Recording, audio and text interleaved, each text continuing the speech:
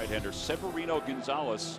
His earned run average is 10.57. That's because of his first start against the Cardinals. Two strikes to Carlos Gonzalez, a 203 hitter.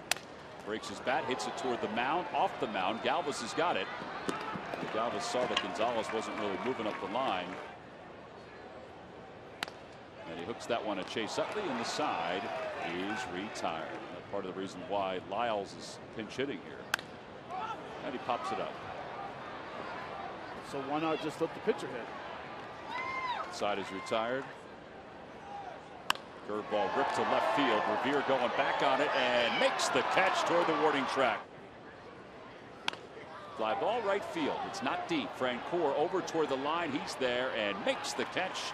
And the inning is over.